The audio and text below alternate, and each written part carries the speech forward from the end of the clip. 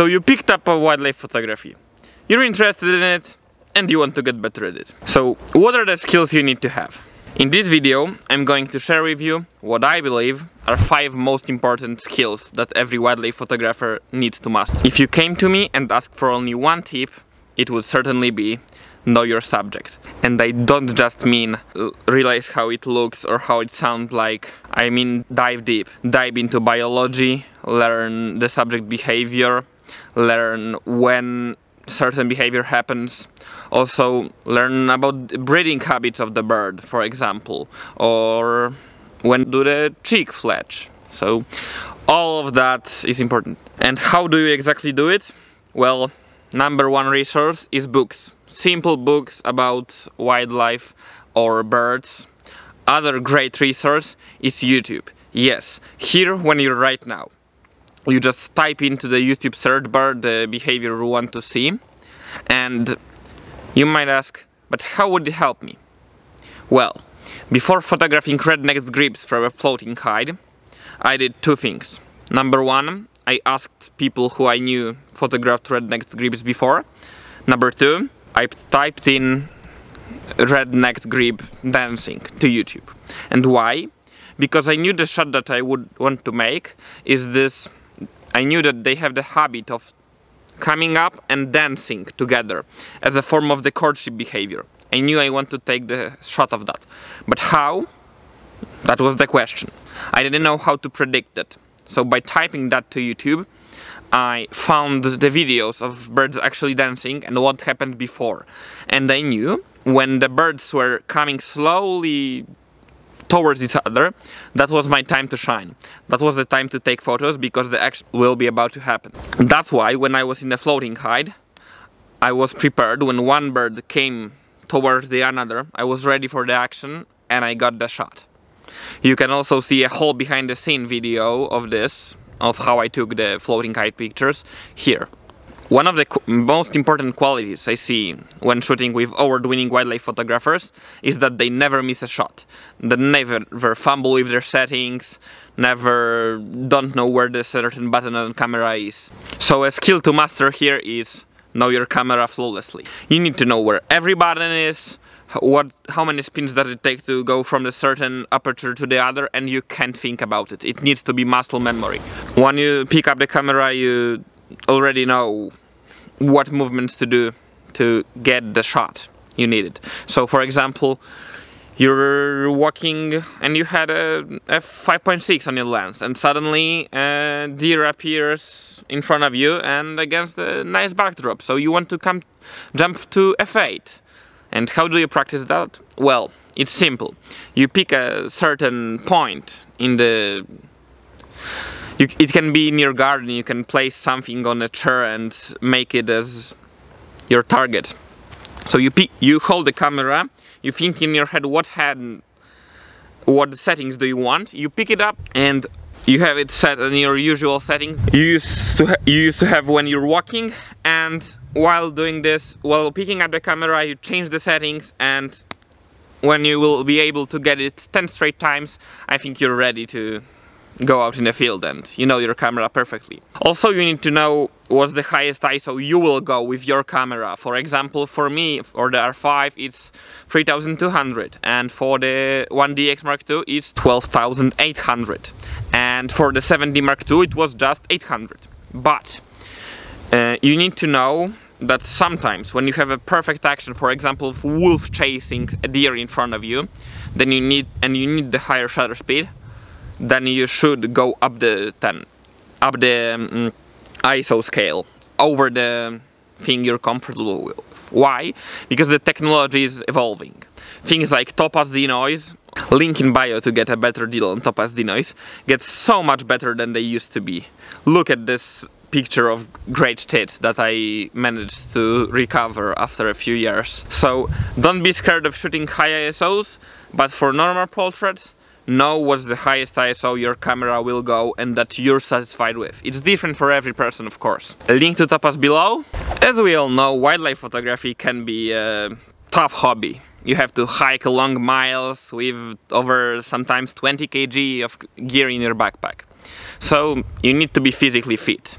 and it's most under one of the most underrated skills for a wildlife wildlife photographer. You don't need to go to the gym, but you can simply go on a walk once a day, on once every two days. Maybe sometime take your photo backpack with you because uh, the best photography opportunities are usually not the places that are easily accessible. You have to hike through swamps or mountains to get to the perfect location for your photography. So being fit will help you um, achieving that goal. Also by being fit I mean being physically tough. You have to be able to stand the cold, the snow, the rain, the um, uncomfortable positions that you will lay in waiting for wildlife. I was laying head down on this pond bank for four hours to get the images of the black storks and spotted redshanks. So being physically tough and fit will 100% help you as a wildlife photographer and will allow you to spend more time in the field which all in all is the most important fact because then you learn then you learn the behavior and without being in the field you will never get good wildlife photographs. Another skill every wildlife photographer has to master is unfortunately patience.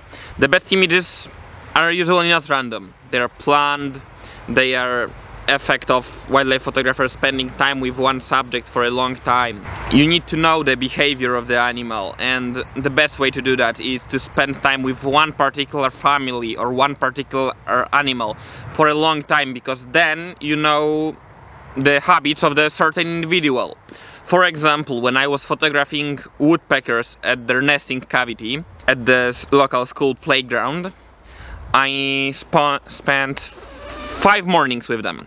And during those five mornings I noticed the behavior that they usually start feeding uh, 15 minutes before sunrise and uh, every five minutes they feed their chicks.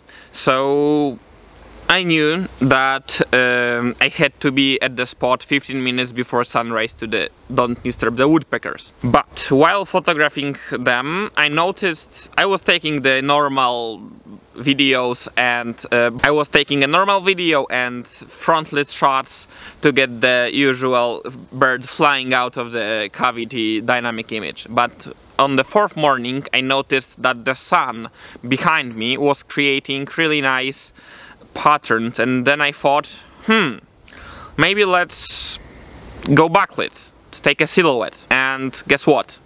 On the fifth morning it worked. I got the silhouette from repositioning myself. If I hadn't spent the time, I wouldn't have got the shot that I got. So if you spend time in one place, you usually benefit from it and you usually get the best shot of the opportunity. So if you have one certain topic that appears in the same place over and over again, you, it might be worth to spend like a week or two months with it. And that's how the best images usually are created and I saved the most game-changing one for last. Thinking ahead, being able to predict the movement of the animal, being able to predict the light angle, the background, what the animal will do. So, background, light angle, those are easy to predict from your comfy chair.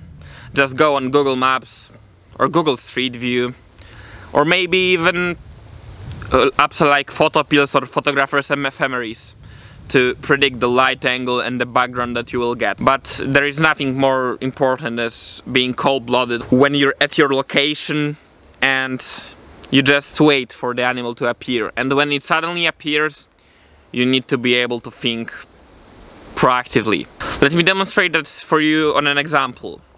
Me and my dad and my friend were photographing moose in Biebrza National Park area and we noticed that the female moose moved and it, she was with the calf so I instantly knew that the calf will follow the, her. So I was the only one to back up. I framed the shot that I wanted because I knew when the where like plus minus two meters where the female crossed and I knew the calf will follow the exact same path. And um, I backed up quite a lot because we were shooting portraits and I came back to get the full body with a pine branch coming to the frame and this way I was the only one to don't clip the calf when it suddenly moved where we want where I predicted it to move. So be cold-blooded, try to always think what might happen next because they usually the best images are the one when the animal is not static, when where there is some movement. So be able to predict the movement. And how do you learn that? Well, you spend time in the field, so it all comes down to this. You have to get the experience. You can watch YouTube videos studying the animal behavior. You can read books. But the most important one is certainly just spending time in the field with an animal that you want to photograph or general animals. To sum up, those are what I believe five most important skills every wildlife photographer should have. So I invite you to practice them at home or in the field because you can never be over prepared. You can only be under prepared and we don't want that because that means missing, missing the shots. Thanks for watching.